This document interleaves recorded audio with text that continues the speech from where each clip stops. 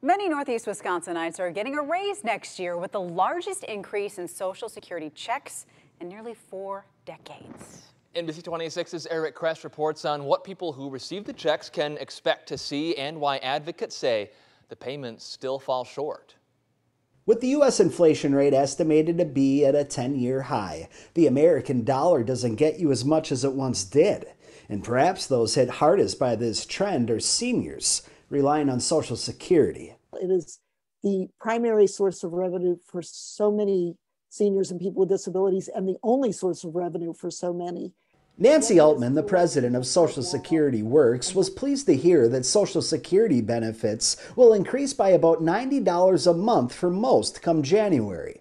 But she says it's still not enough for many. Don't forget, these are people on fixed incomes just often many of them just above the poverty line. A recent AARP survey found that one in four seniors rely on Social Security benefits for nearly all of their income.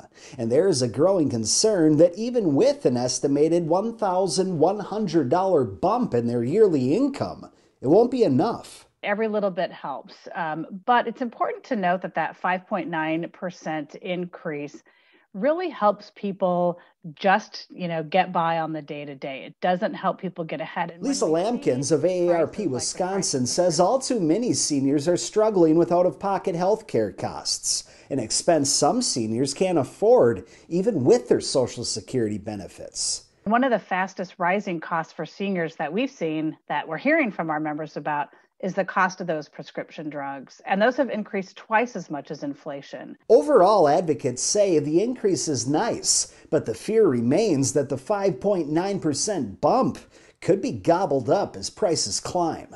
If those, you know, premium Medicare premiums go up, a rate increase could eat up all or part of your um, cost of living adjustment. In Wisconsin, Eric Kress, NBC 26. So a double-edged sword. Now about 20% of Americans receive Social Security checks. Come January, the average check will be just over $1,500 a month.